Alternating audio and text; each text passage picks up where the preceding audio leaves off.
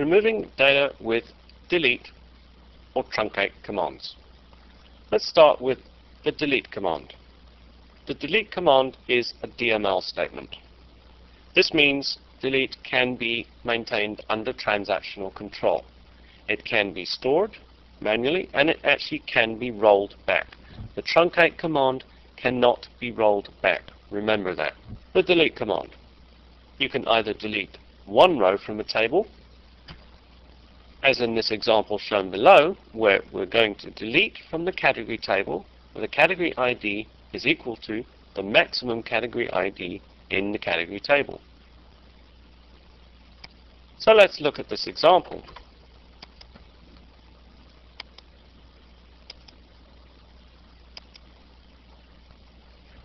Let's go and look at the category table to start with. We can see that the maximum ID is 38. Let's run this delete command. It says one row deleted. Let's select everything from the category table again. We can see that 37 has disappeared. Now let's go off at a very small tangent. This statement here says referential integrity at work.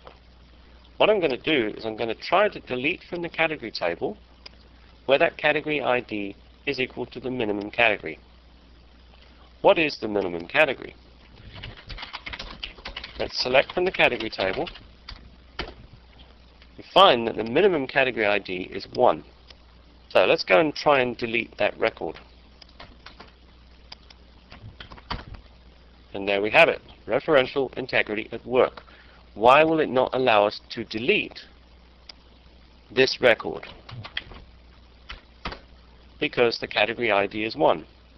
It doesn't exist in the show table, but it does actually exist in the category table itself as a foreign key.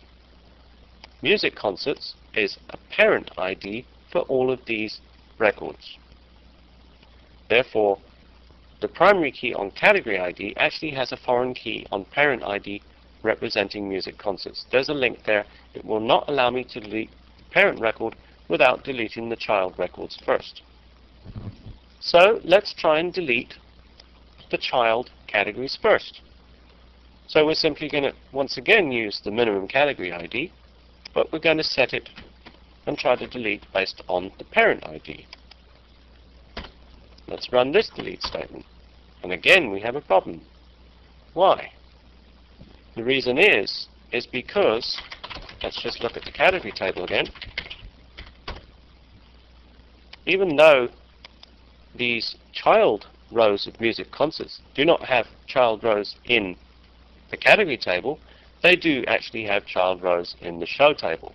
I won't go any further with this, but what I have to do is I'd have to delete the shows if the show records had any child records, such as ticket records, I would have to delete the ticket records first.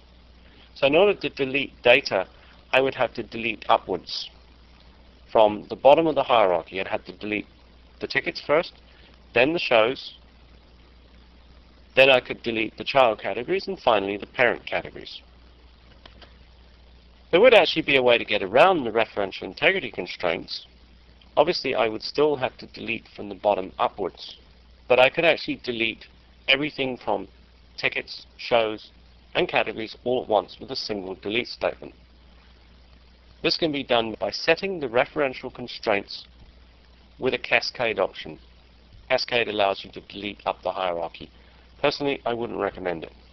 It's very dangerous using Cascade because you actually don't know what you could delete Unless you know the data model structure very well, be very, very careful using delete cascade constraints.